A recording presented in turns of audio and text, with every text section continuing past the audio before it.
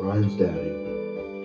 Ryan's daddy was taking him hunting when he was 13 years old.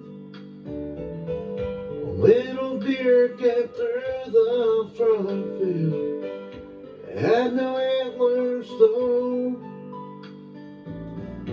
His dad looked down and smiled. You can shoot it right now.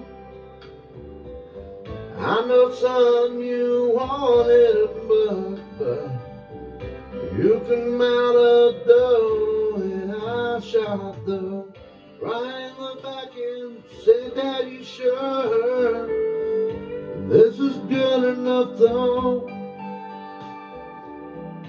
Daddy looked back at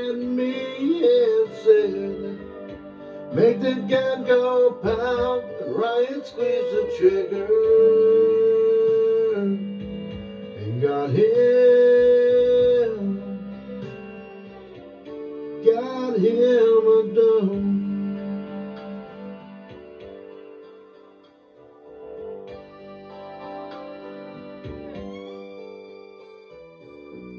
They follow that blood trail back to an old window.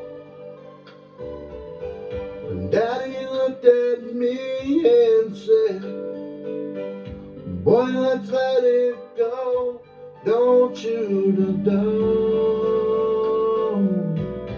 Oh, please, daddy, can we take the dog?